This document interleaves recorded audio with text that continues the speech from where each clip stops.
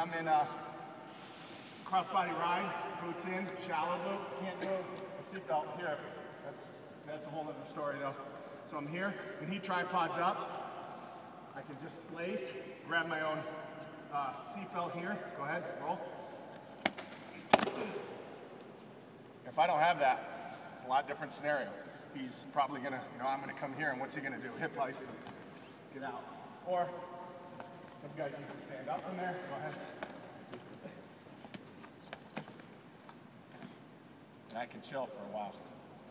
Now again, you don't want to stay there too long when you're on top because then you get dinged. All right, one more time, then we're gonna go out and try it. I don't panic. It's the other thing I do. I just pressure that point of uh, uh, uh, right where he is. I'm gonna put my weight on. All right, I'm gonna just lower my level. You know, eventually I don't want to stay here because he can come up.